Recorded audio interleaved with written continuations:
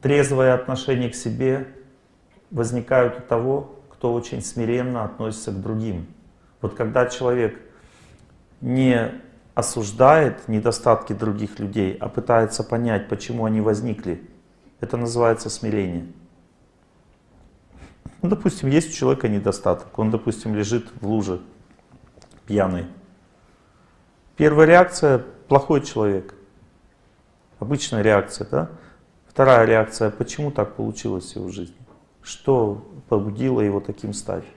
Ведь изначально мы все чистые души. Почему он стал таким? И если я чувствую судьбу его жизни, понимаю, что его привело к этому, то это называется, что я смиренно отношусь к этому человеку. То есть я не ставлю себя выше его, я просто пытаюсь понять его жизнь. И по большому счету все люди страдают, ну все люди плохо себя ведут только из-за страданий. Причина их страдания, то есть их трудности в жизни, поэтому они плохо себя ведут. Смирение, абсолютное смирение означает понимать трудности всех людей вокруг. И когда человек становится смиренным, то он каким становится? Трезвым по отношению к себе. Потому что когда человек понимает недостатки других, понимает, означает принимает, он также понимает и недостатки свои. Потому что если говорить о своих чужих недостатках, то свои недостатки мы прощаем себе, принимаем. Мы так относимся к ним. Мы к ним относимся спокойно. Так как они нас не, не мучают, наши недостатки нас не мучают. А недостатки других нас мучают. Поэтому мы не можем к ним относиться спокойно. Но если я понимаю, почему у человека такой недостаток, тогда он перестает меня мучить. Это называется смирение. Ну, допустим, у каждой женщины есть одна трудность, у большинства женщин. Так как женщины очень чувствительны, поэтому им очень трудно воспринимать насилие, грубость, хамство, э, какие-то резкие события, очень влияющие на судьбу. Женщина также боится мужчин, хочет она себе в этом признаться или нет. Поэтому женщинам очень трудно выходить замуж. Они постоянно сомневаются, может это не тот человек, не мой человек. Потому что мужское начало имеет очень агрессивную, активную природу. Мужчина влиятельно очень воздействует на женщину. И женщине очень трудно понять, как он будет на нее влиять. Может плохо, может хорошо. Тем более, что видно, что опасности какие-то в нем есть. Поэтому женщине всегда очень трудно выйти замуж. Но если мужчина понимает это, он понял это, тогда он очень легко может э, установить контакт с женщиной. Потому что он будет к ней относиться очень аккуратно, осторожно чтобы она не чувствовала себе на себя какое-то давление. Это называется смирением. То есть смирение всегда основано на знании. Оно не может быть, допустим, человек говорит, я, я смиренный очень, простите меня за все. И потом делает опять плохо, говорит, ну и за это тоже простите. ну, это хорошо, конечно, что ты так раскаиваешься, это тоже нормально. Но лучше не делать плохо.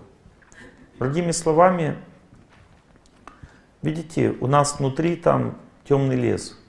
Мы не знаем, что у нас там творится. Есть два вида направленности сознания. Один вид направленности сознания называется э, жизнь вовне себя, внешнее сознание. А другой вид направленности сознания называется жить внутри себя или внутреннее сознание. Знаете, кто может быть допущен внутрь себя? Тот человек, у которого есть силы себя принять. Потому что принять себя тяжелее всего.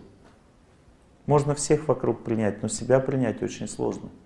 Потому что недостатки своего собственного характера являются сверхценными вещами.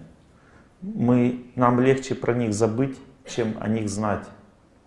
И то же самое следует знать, что то же самое является сверхценными вещами, также является память о прошлом для нас. Вот, допустим, человек, часто люди встают и говорят, Олег Геннадьевич, мы расстались.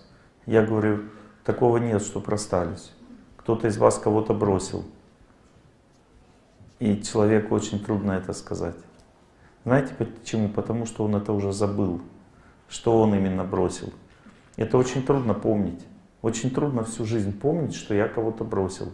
Я считаю, что так получилось, как бы, я хороший, в общем-то, но так получилось, что вот я бросил.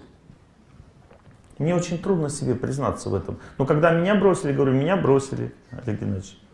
Если человека бросил, он говорит, меня бросили. А если я бросил, мы расстались. Всегда так все говорят люди. Некоторые говорят, меня бросили.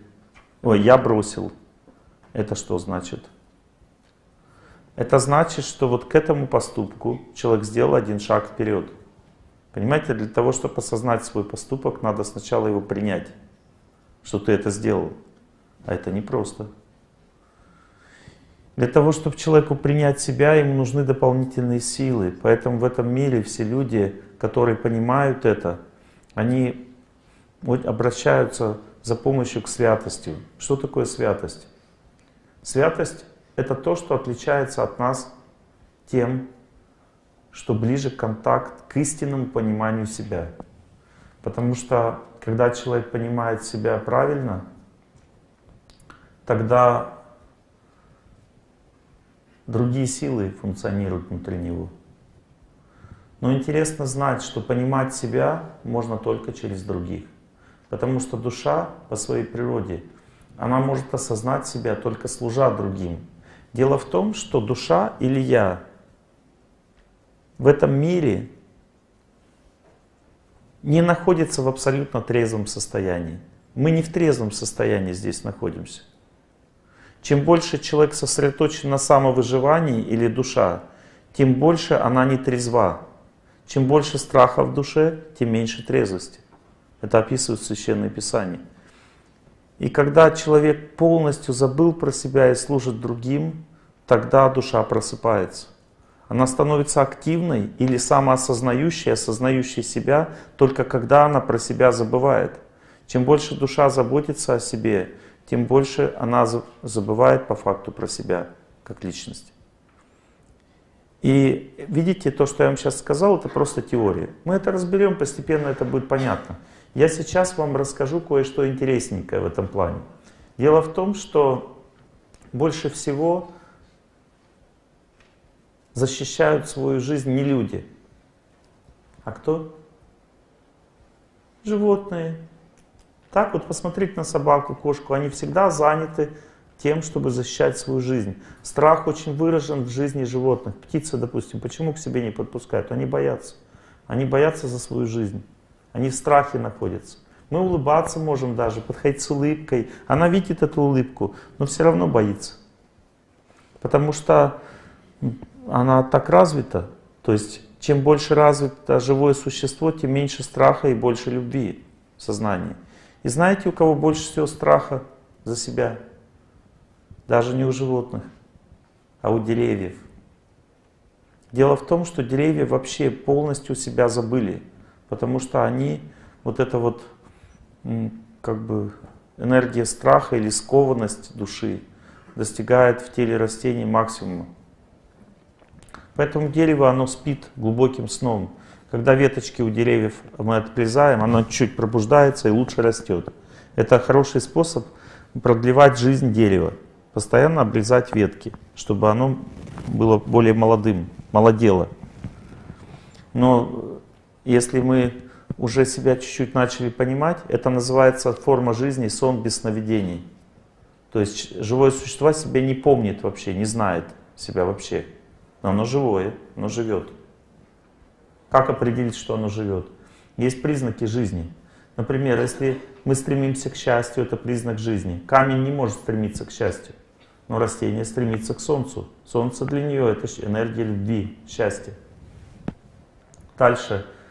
Размножение — это признак жизни. защита, кора дерева, защита, то есть она защищается, сохранить жизнь пытается. Питание, признак жизни, размножение, защита, питание, стремление к счастью. Это все признаки жизни. В человеке это есть, в животных есть, в растении тоже есть. Поэтому мы не можем сказать, что там нет души в дереве. Там есть душа, потому что есть признаки жизни. Вот они описаны. Но интересно, что в живых существах, которые уже движутся, у них признаки жизни действуют активнее. И они лучше понимают себя. Это осознание себя называется солнцесновидениями сознания. Собачка по сравнению с нами спит сильнее. Она очень сильно защищает свою жизнь, постоянно боится за себя. Вот. И даже когда она гавкает, это, ну, это причина этого это страх. Страх является главной причиной агрессии даже животных. И заметьте, что человек тоже может входить в эту форму жизни, которая называется солнце сновидениями.